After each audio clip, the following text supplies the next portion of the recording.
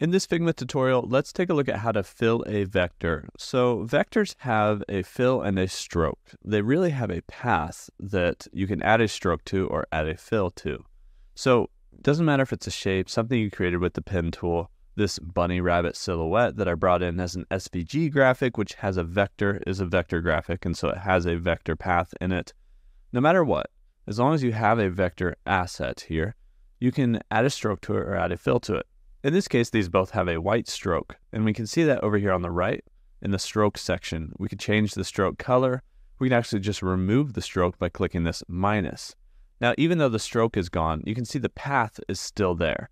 It's just there's no stroke or fill applied to this triangle. So on the right-hand side again, we can add a fill, and once we add a fill, it fills in that vector with color. And we can fill it in with color, with um, a gradient with a picture, with a video, anything like that. So we could just add a solid color. We can change that color here to whatever we want. We can do the same thing with this rabbit. Now I could add a fill and keep the stroke. And so we could add a fill of, let's say we want it to be the yellow again, and we want to keep the stroke, or we want the stroke to be black. We could change that stroke to be black. And now this rabbit over here actually has a fill and a stroke applied which we can hide the stroke if we want to see it with or without, or we can just remove it by clicking the minus or remove the fill by clicking the minus. But that's how you can fill a vector here in Figma.